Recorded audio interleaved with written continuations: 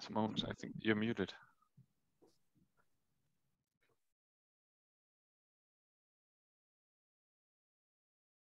Uh, Mons? Uh, How is this? Yes, yes, much better. So did you miss my whole introduction? I'm afraid so. okay, so let me just start again and just say thanks to Asad and thanks to Tom Gilbert for the invitation and hi everyone.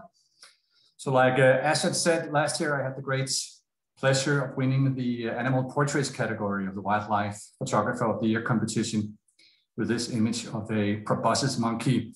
And this was the culmination of an ongoing photo project of mine focusing on primates.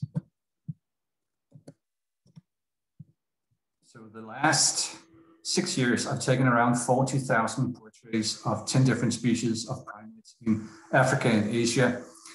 And today I'm gonna talk about this wildlife photography project and uh, talk about why it is especially primates that I find so interesting. But let me start out with um, talking a bit about my background as a wildlife biologist and mammal researcher, because this is actually something that also has a big influence on my approach to wildlife photography and wildlife communication. So let's start out by taking you to the Amazon. Here comes a much younger version of yours truly.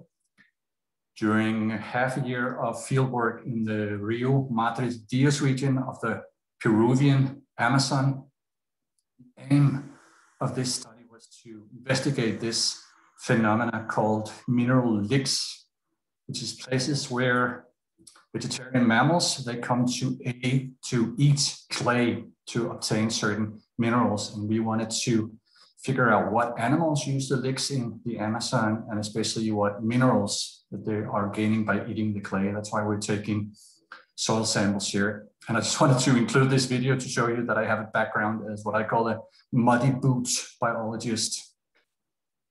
Uh, uh, it's going, can I can I ask you to remove maybe the top bar? Uh, th there is a gray bar on top of the video, uh, slightly obscuring the top parts of.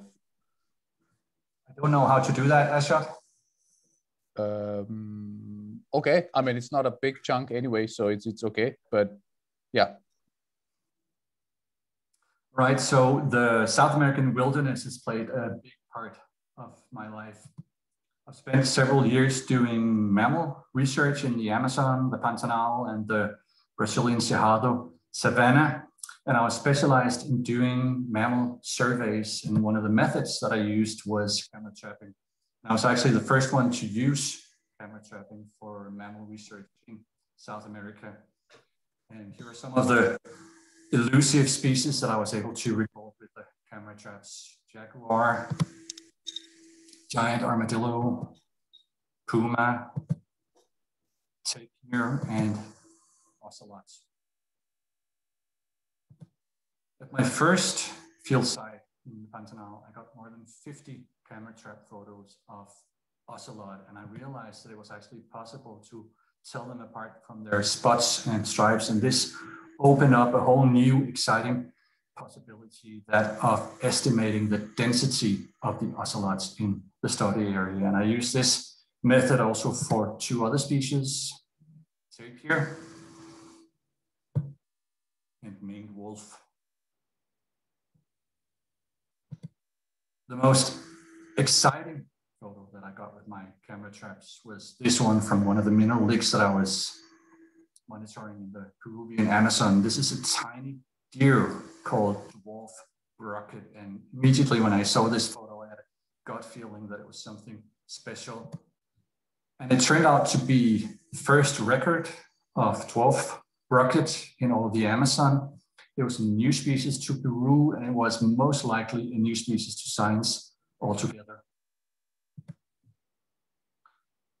So after having spent a total of five years in South America, I felt ready to begin a whole new chapter of my life. And I decided to leave research and instead work full time with another area that I've always been passionate about, which is public engagement and science communication. prior to this, I'd worked at the Copenhagen Zoo for seven years with public engagement. And one of the things that I really appreciate about public engagement is that it allows you to reach a big audience and educate the broad public and hopefully make them think that the topics that you're talking about are interesting and important. One of the things that I wanted to do was to write books about animals. And here are three of the six books I've published. Guides to the Wildlife of Africa, the Galapagos Islands, and Greenland. And then 13 years ago, I got my current job at the Natural History Museum, where I get to work with science communication in a much broader way. So at this time when I went from science to public engagement, that's also when I started becoming really serious about my wildlife photography and I started traveling all over the world to photograph wildlife. South America, Finland, Antarctica, India, China. Now, in 2014, I traveled to the Simien Mountains of Ethiopia. And this was a trip that came to totally change my photographic direction. I went there to photograph one animal in particular, namely this guy here, the gelada. The geladas live in some of the largest and most complex societies of any mammals. They occur in groups, sometimes numbering more than a thousand individuals, and they have incredible facial expressions. Always these intense eyes, even the young ones. And they have evolved this really amazing facial expression that you only find in the gelada. I'll show that to you here. They're able to pull back their upper lip and it kind of looks like an alien in the movie shooting out its jaws.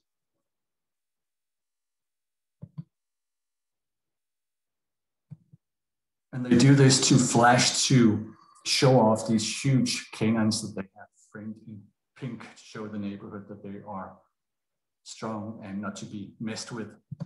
So I spent a week in the company of the geladas and they totally blew my mind. At this point, I'd been focusing on taking portraits of wildlife for about a year and a half and I'd taken portraits of many different animals, but the gelada made me realize that when we're talking about facial expressions, there's just nothing that comes even close to the primates. So that's when I decided to focus on, on our closest relatives, on the primates.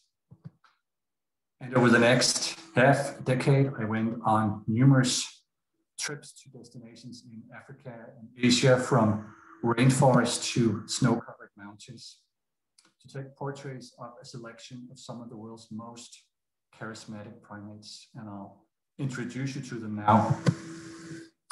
Mandrill from Gabon in Central Africa, the lion-tailed macaque from India, the world's best-dressed monkey, the red shank douc from Vietnam, and from Borneo, the orangutan, the proboscis monkey, the black-crested macaque on Sulawesi, and then three species that are adapted to extremely cold environments. Here, the Japanese macaque, also known as snow monkey, and two species in China, the golden snub-nosed monkey and the black and white snub-nosed monkey. So those were the species I've been photographing. Now let me take you to the field and talk a little about how it actually works when I'm out there photographing monkeys. So normally I spend between one week and two weeks photographing each species. And I spend many hours every day in their company, just taking thousands and thousands of portraits of them, trying to capture those special moments and special expressions. And when I'm photographing monkeys, it always takes place on their terms. I follow their rhythm. And what that is, is different from species to species. Here's an example of the black crested macaques from Sulawesi. So they spend several hours every day slowly walking through the monsoon forest looking for fruits and other food. And so when they walk, I walk with them. And when they settle down to groom or to rest, I sit down next to them. And that's when I really get to work. That's when I start taking their portraits. This here is the alpha male of the troop, always with this grim look on his face.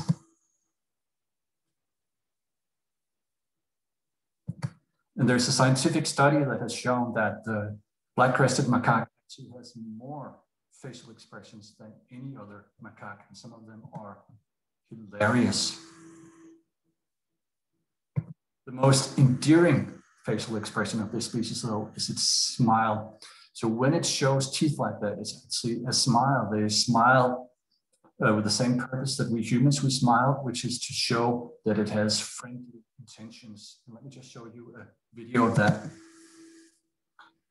So when I photograph monkeys that move around on the ground, I always sit on the ground with my camera on the tripod, uh, very low to the ground to get down to that uh, eye to eye level. And almost on a daily basis, when I was photographing these black crested macaques, subadults, especially males, would walk straight up to me and look themselves in the mirror, look at their, study their own reflection in the front of my big camera lens. So they actually they absolutely love looking themselves in the mirror. How it works. So now look at the individual to the right, sees me, gets eye contact, makes kissing noises with its lips, and then it smiles at me. And again, that's to show that we're good buddies here. So one day I've been sitting on the ground for a while and I just needed to get up and stretch my legs. So I took a, a few steps away from my camera and then this happened. Another subadult came over and started handing my camera here like a professional little wildlife photographer. I don't know if it's looking at its own reflection or if it's someone trying to imitate me, but it really goes to show how incredibly inquisitive and intelligent they are.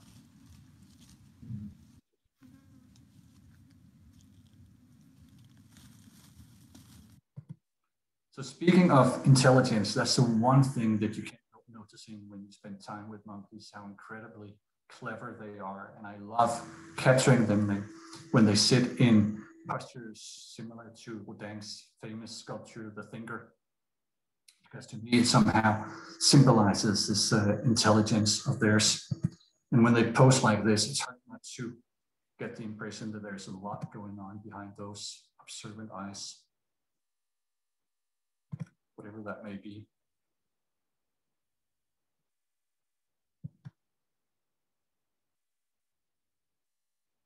So as a wildlife portrait photographer, the thing that uh, I find most intriguing about the monkeys are all of their facial expressions. And I've looked into the, science, uh, the science of this topic, and there's actually an interesting story behind it.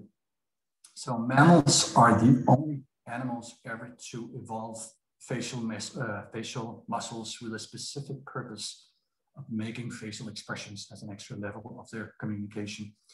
Uh, these highly specialized muscles are called facial expression muscles or mimetic muscles. And you find them in many different mammals. Just think about dogs, how expressive they can be. But the group of animals where you have the most sophisticated facial expression muscles and the richest repertoire of facial expressions, that is by far the primates, the higher monkeys and the great apes. And what you can see on the illustration to the right is where these mimetic muscles are situated. The socially advanced monkeys and the great apes, they have the same number, more or less, of facial expression muscles as we humans do. And what's interesting is that they're situated in exactly the same main areas as in us. So that's around the eyes and in the region of the nose and the mouth. And that's why so many of the facial expressions of the primates are very similar to what we're used to seeing in other humans as their emotions change, their facial expressions change all the time. It goes so quick. I'm just going to show you a couple of examples of that. This here is a young orangutan, and now I'm going to show you a series of four portraits that I've taken within only two seconds. And just notice how much the face changes. The orangutans have these really soft lips, and they use them a lot for their facial expressions. And then here you've got the snow monkey, the Japanese macaque. Just notice how the macaques, they use their eyebrows a lot for their facial expressions, very movable eyebrows. That totally changes the face. And then the mandrill that uses uh, especially movements around that big muscle it has.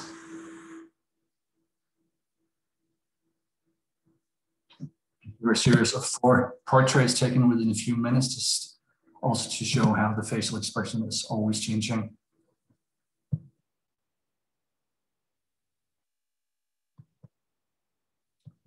And then finally, the proboscis monkey, a young bachelor. And notice how monkeys, when they're sitting there and they're always watching each other, just like we humans are always watching other humans, always observing.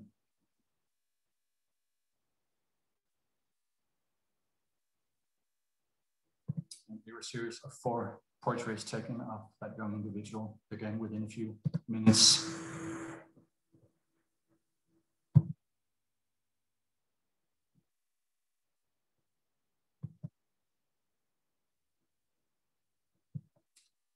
So this young male, this bachelor, is the most tranquil, laid back, peaceful, serene monkey individual I've ever photographed. And that brings me to one of the most interesting lessons that I've gotten out of photographing all of these primates, which is that not only does each species have its own characteristic, each individual has its own personality recently I found this quote by Jane Goodall, and she says, You cannot share your life with a dog or a cat and not know perfectly well that animals have personalities and minds and feelings.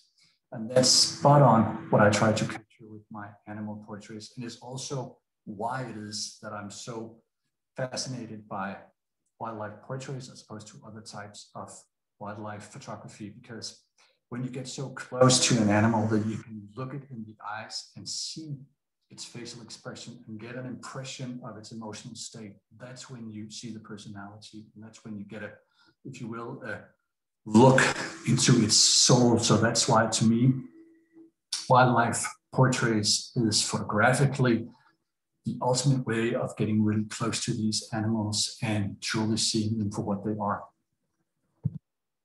So many of my pictures have been published in magazines and newspapers in various countries, but the place where my photos get the most exposure is actually on Instagram.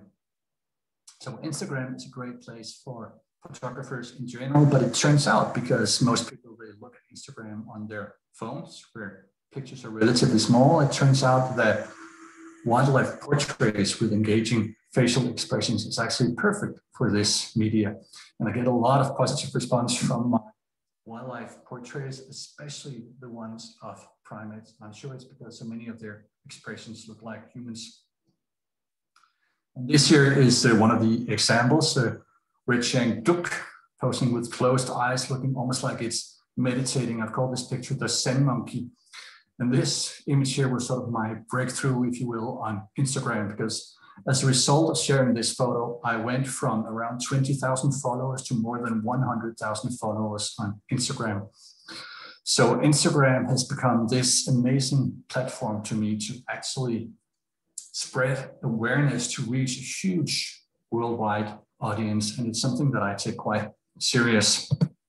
And that brings me to uh, the last point of my talk here, something that I also alluded to in the title of the talk, which is the thing about fusing wildlife photography and science communication. So actually, when I share my photos, I actually do a lot of science communication too. I don't want people just to see pretty photos. I also want them to learn something about these animals. And I always, or mostly, accompany my photos with the science-based stories about their adaptations, their interesting behaviors, their evolution. In this case here, with the gelada, I talk about how it uses its red chest mark. And the reason why I do this is that I think there's a huge potential in exactly this fusion of engaging wildlife photographs and interesting scientific facts. When people they learn more about these animals, they can develop a deeper appreciation for them. And it's a great way of making people more enthusiastic, more fascinated with these animals, and also making people care more. And in this day, this day and age where more and more animals are threatened, and that goes especially for the primates, it's so important to educate people and to make them care more about the animals. So that was my presentation.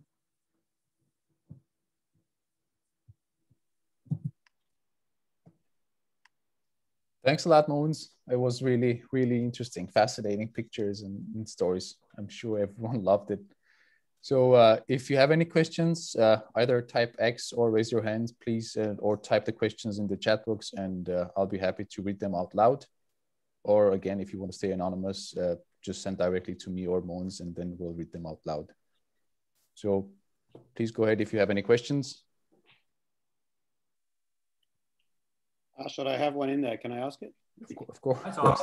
Hey, Mogens, thanks. That, that was awesome. I, I apologize. I missed the first four minutes, so I hope my question isn't uh, redundant in that. But uh, um, so, how do you actually fund all your monkey travels? I mean, you're doing a lot of traveling, right, and taking a lot of time out. Is I mean, uh, is it just purely self-funded, or it, yeah. do you get contracted yeah. to do stuff, or grants, it's or self-funded? It's all self-funded. Yeah. Wow. That's uh, and and that's okay. Well, the second part of the question then is though, uh, how is it with regards to permissions? So you know where we are, we're obsessed with. Well, we spend our whole time these days working on permissions, right? Permissions to sample and do whatever.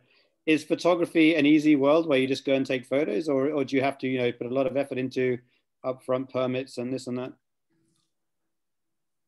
I mean, there's so many tourists now that travel around with big camera gear so it's easy for me just to you know be one of them. So to be honest, I don't usually apply for a special permit. You know, it's different if you're the BBC or a big company or you bring a big uh, you know team, a lot of equipment. Then obviously you need permissions, and that varies a little from place to place, country to country, how strict they are.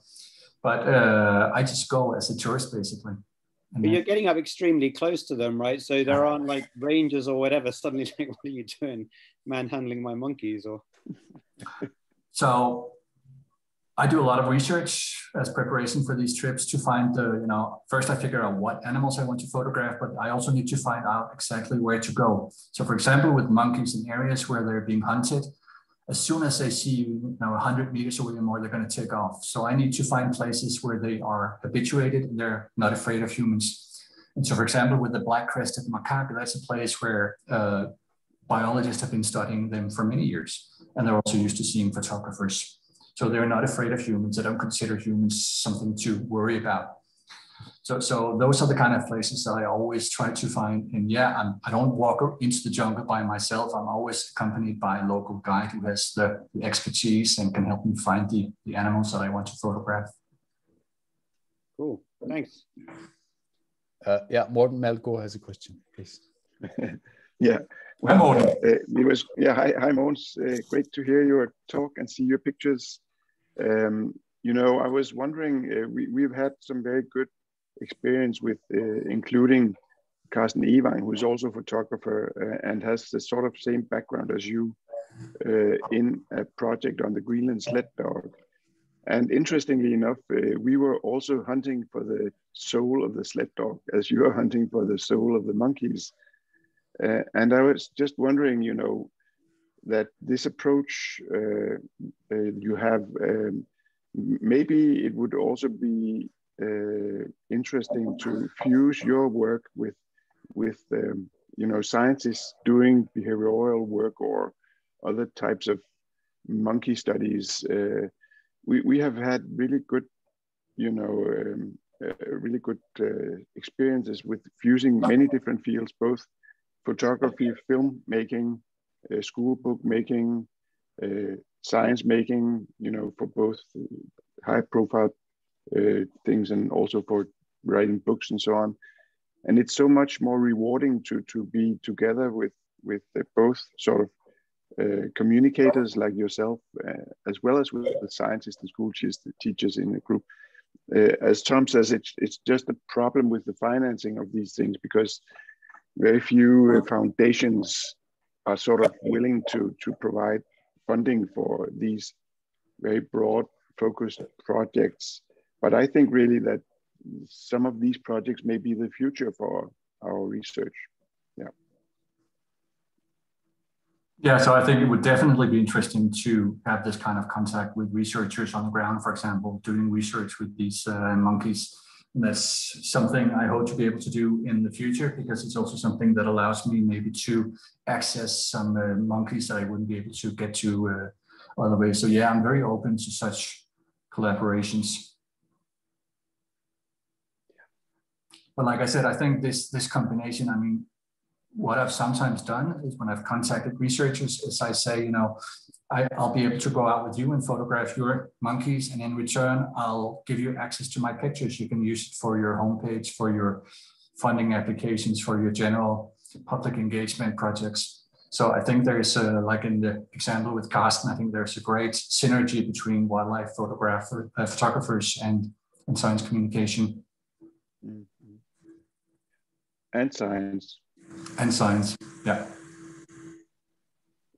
Tom, go ahead, please. Yeah, Mogens, can I ask another possibly very naive question? But uh, um, with with regards to technology and cameras, because if people want to do this, right? I mean, uh, are the cameras these days extremely, extremely expensive, or is it basically after a while they plateau and you get you spend more and more, but the quality doesn't get better? I mean, uh, I guess you can't do this kind of stuff on an iPhone, right? But but given the way cameras have changed in recent decades, what's the sort of required technology to do a lot of this and how much realistically would it be for people who might want to start taking serious pictures? I often get asked by sort of uh, young up and coming photographers what equipment I would recommend them to buy. And I mean, it is with camera equipment like it is with a lot of other things that you get what you pay for. And if you want the top notch equipment where you can get like really sharp images like the ones I want to take, the equipment is very expensive. I mean, there are some new lenses that came out from Canon now. They cost more than 100,000 kroner here in Denmark just for one lens. So it's ridiculous.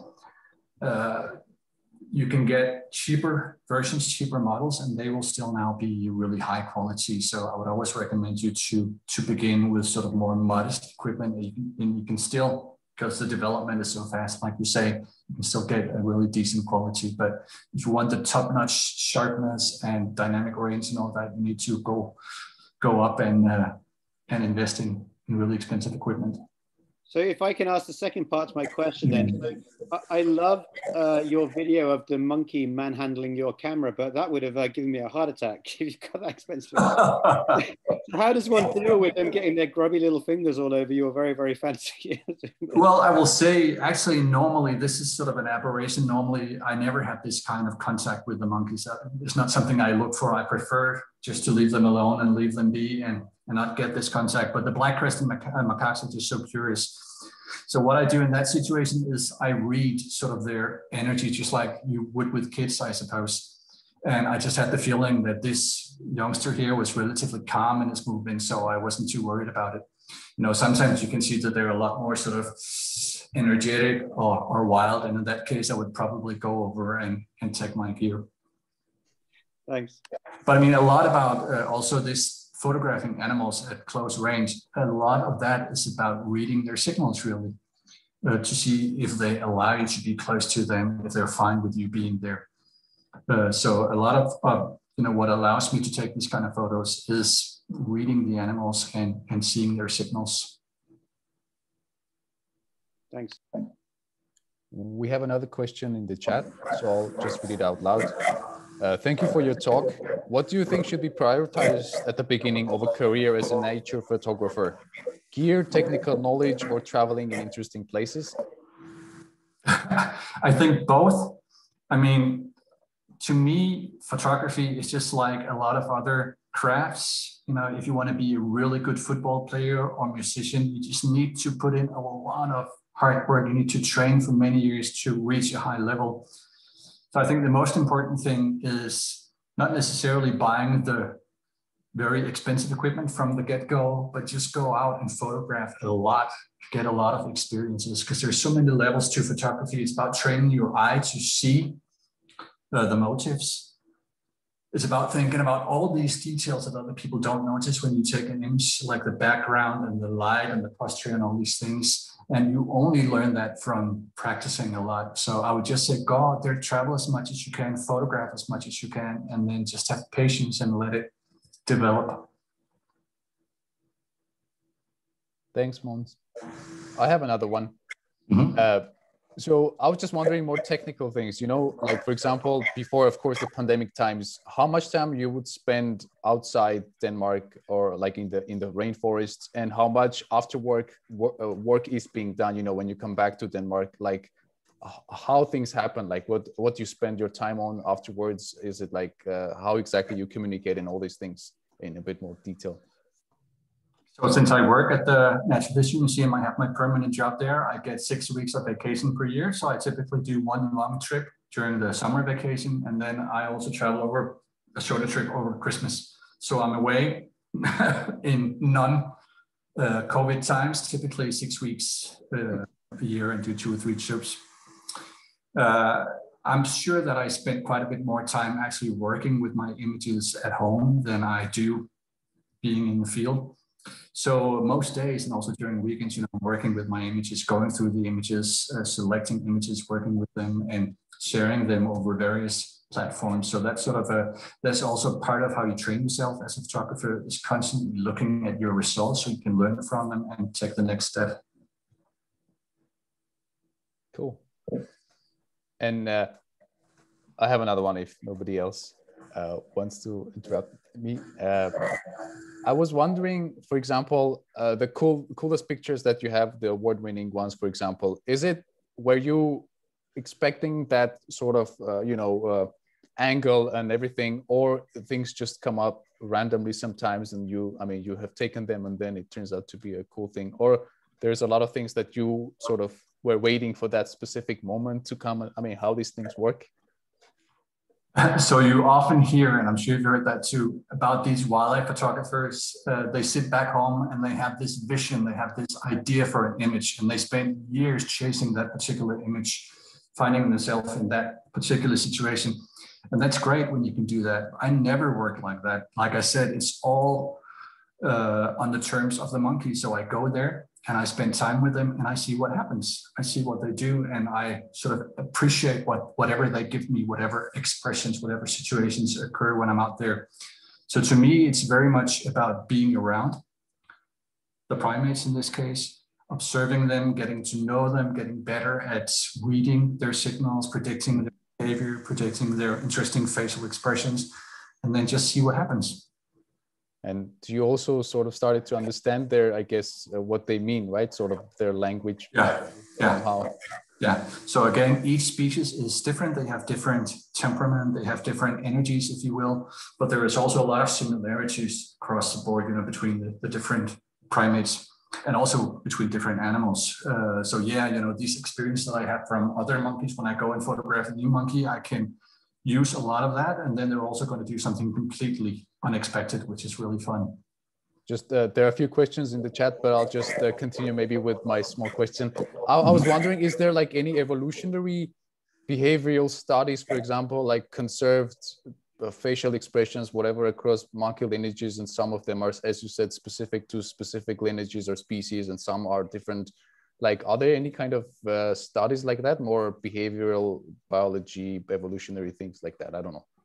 There's quite a few studies that I'll be happy to share uh, references with if you're interested, where they look into the evolution of the facial expression muscles and they compare it between, you know, different uh, mammal groups and also look at different species of, of primates. So one of the interesting parts, for example, is that in the species that have very colorful faces, you tend to have fewer mm.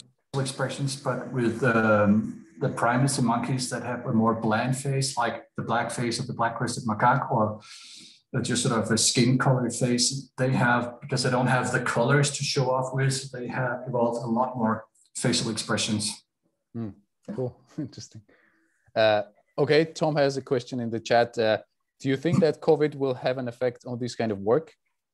With regards to reduced tourism, meaning reduced familiarity to the monkeys with the tourists, thus behavioral changes? Ah, that's a tough question.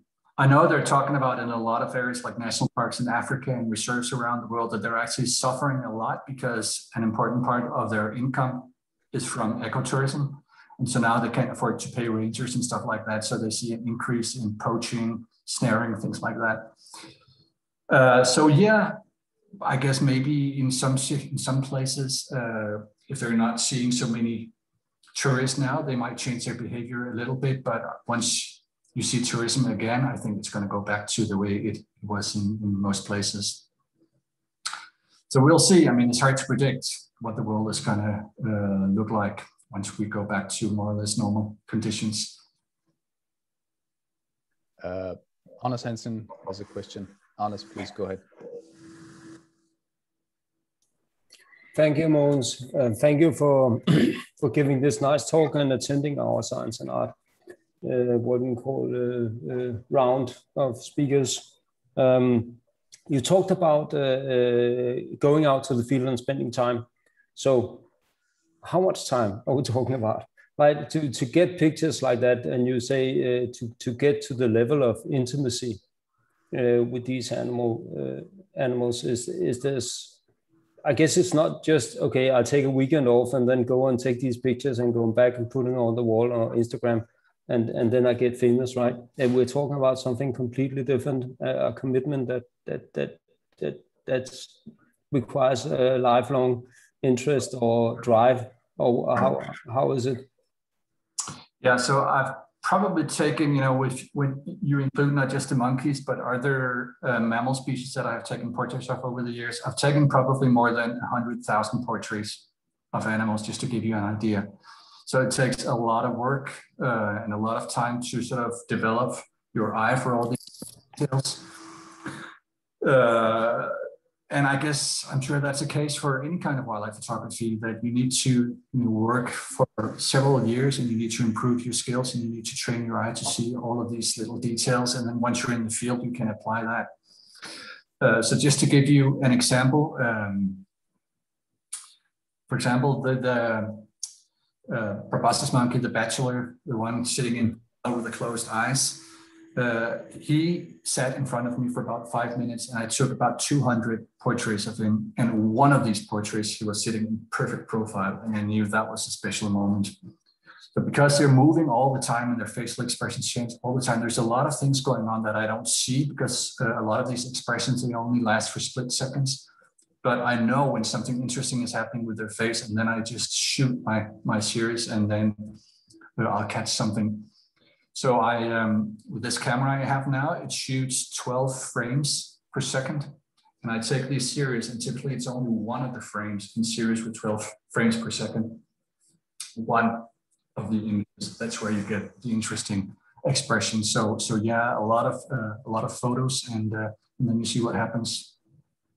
Right. And I guess there's also quite a lot of, uh, when you spend like a week out, then you need two weeks uh, editing or looking at photos or some uh, are there some sort of uh, uh, also fraction or or way to divide that uh, amount of time you need to put in it.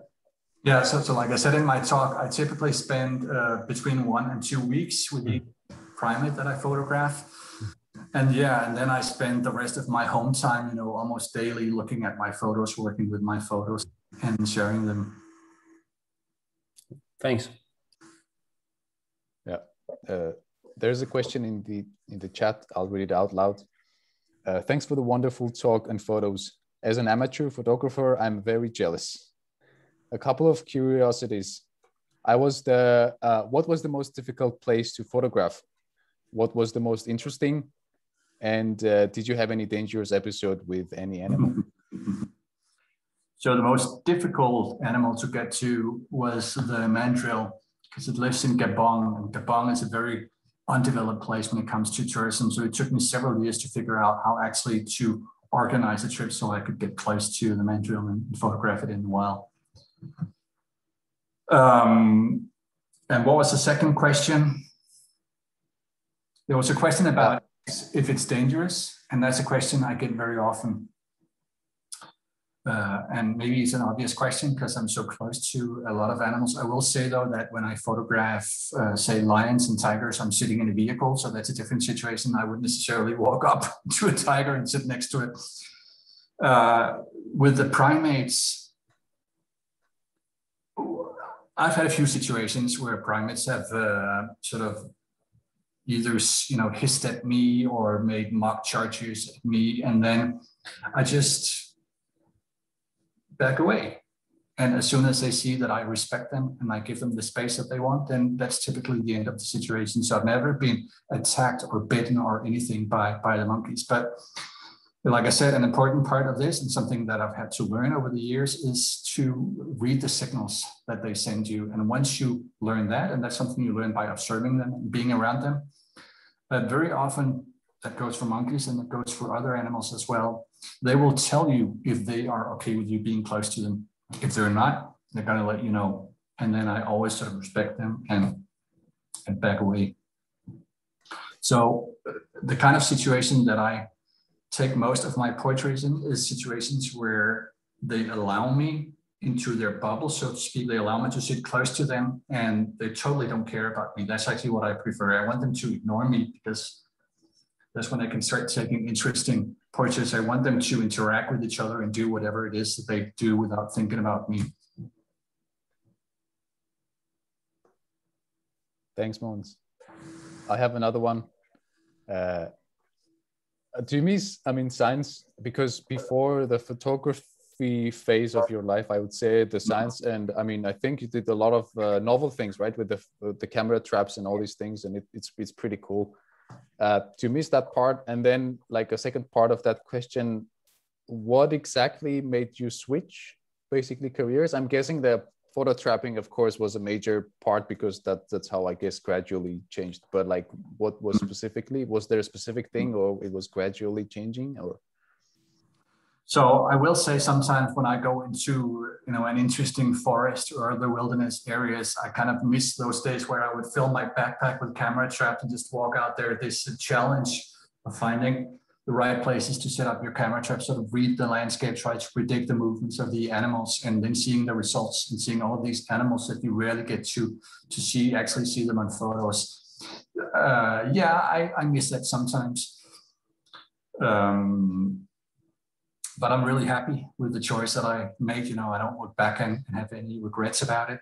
I actually love my job now at the Natural History Museum, where I get to work with people like you. I do a lot of work with the researchers, organizing talks and other kinds of science events, and I love this thing about creating the frame where researchers like yourself can present their science to to the public. So I appreciate very much being in close connection with the science world, but I don't miss being a researcher myself, it was the right choice that I made. Uh, and I think back then the reason why I made that choice is that you know I had a, a, lot of great adventures in South America, but I also reached a point where I felt that I, I didn't want to do this for the rest of my life. You know, sitting in a muddy field station in the middle of, of the Amazon, it gets old after a couple of years. Uh, and rather than going home, and back then there wasn't interesting places like uh, Globe and, such places, so go home and try to become a biologist in Denmark instead. It didn't really appeal to me.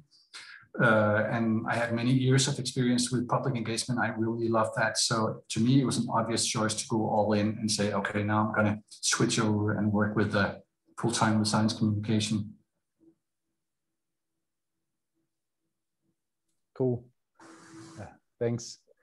And uh, uh, just just another one. Uh, do you, do you plan? Uh, of course, if it's not, of course, confidential or something. But uh, so, do you plan with with the with the apes for, for photographs, or are you planning to sort of change the angle, or uh, you know, switch the angle of maybe different mammals or different directions, just for the diversity, maybe, or something? I don't know.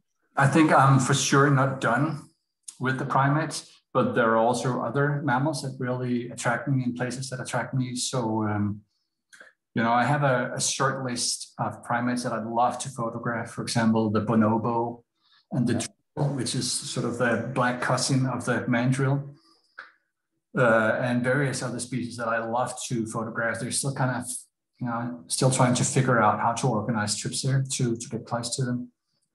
Uh, but there are also other animals uh, that I'd love to um, to photograph. So we'll see.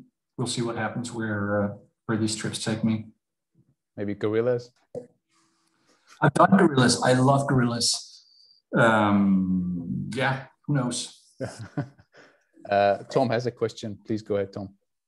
Thanks, Mogens. Uh, sorry for, uh, I, I, don't often get to ask you many questions. It's normally the other way around with Wien and Windscape. Um, so has, has your work been recognized either in a good or bad way by the governments or authorities of the local countries you're taking the photos at? I mean, basically, do you take photos in Africa or Asia and then the West sees them and that's it? Or, I mean, do you ever get feedback from those? Because I know you say how it can be useful in conservation, this, but but what is the actual formal feedback, if any, you get from them? Are they appreciative or not? Or uh, I haven't received any like official feedback from any countries or any authorities like that. Uh, I'm in touch with uh, many NGOs working with these monkeys in the field.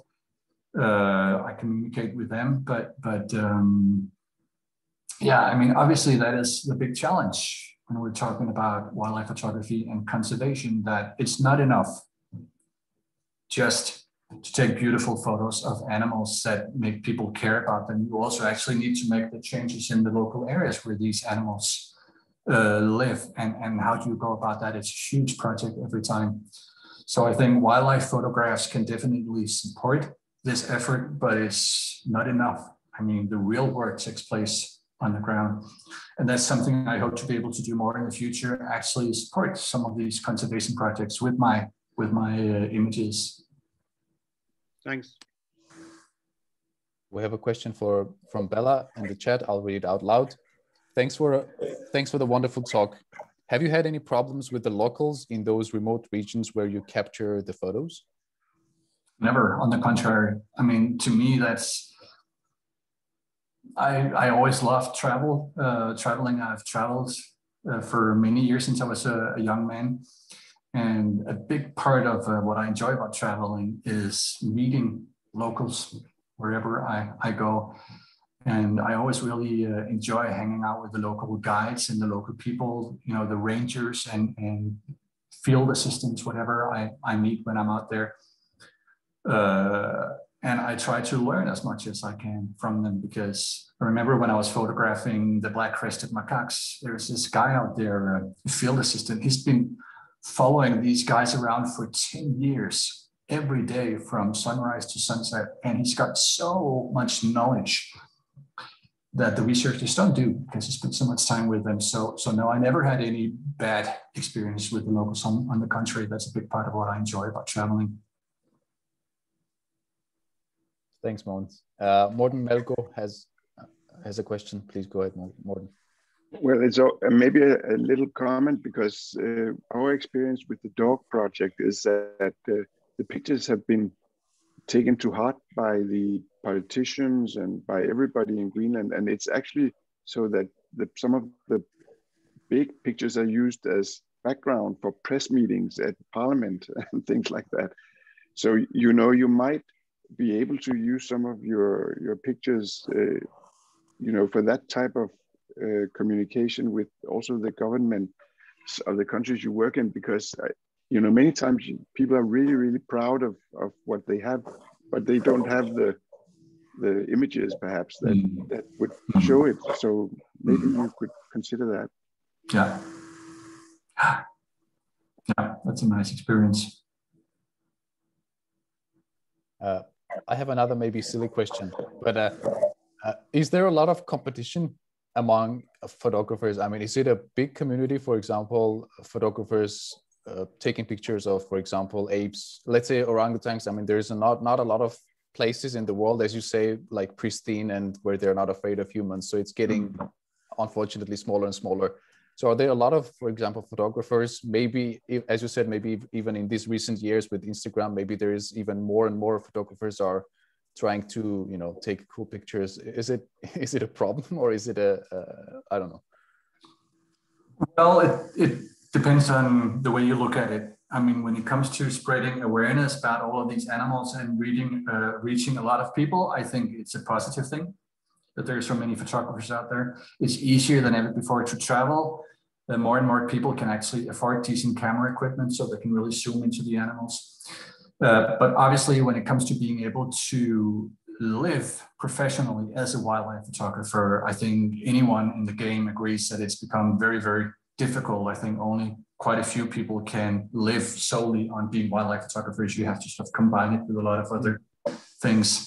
And that is uh, to a large degree because of the, the competition. Hmm.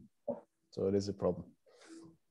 Uh, Tom has a question.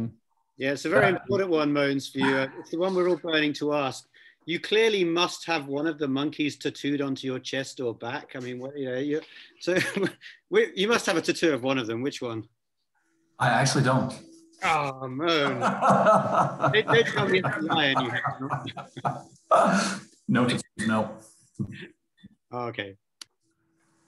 But actually, I will say that this guy sent me this incredible tattoo work that he had done on his uh, legs.